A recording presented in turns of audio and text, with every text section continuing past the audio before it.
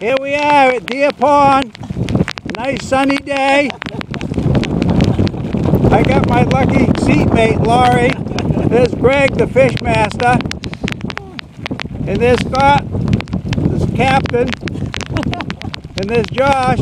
He's the master. He baits all the fish for us.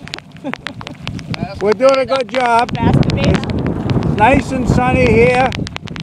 This morning they got a lot of bites, but they didn't have any keepers, game warden. So we decided to come back again, and we waited for the sun to come out.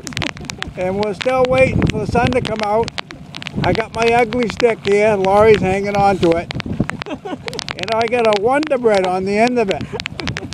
If you don't know what Wonder Bread is, you got to go back in time.